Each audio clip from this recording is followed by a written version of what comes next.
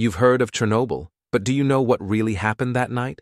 On April 26, 1986, inside Reactor 4 of the Chernobyl nuclear power plant, a safety test went horribly wrong. In seconds, the reactor exploded. Not from a bomb, but from human error and arrogance. The blast tore through the roof, releasing radioactive fire 400 times stronger than Hiroshima. Firefighters rushed in, unaware they were walking into death itself. The air shimmered with invisible poison, radiation so powerful it melted skin and bone. Entire towns vanished overnight. Pripyat, once full of laughter, became a ghost city frozen in time. But here's the haunting truth Chernobyl wasn't just a Soviet tragedy, it was a global wake up call, a reminder that when humankind plays with forces it doesn't fully understand, nature always wins.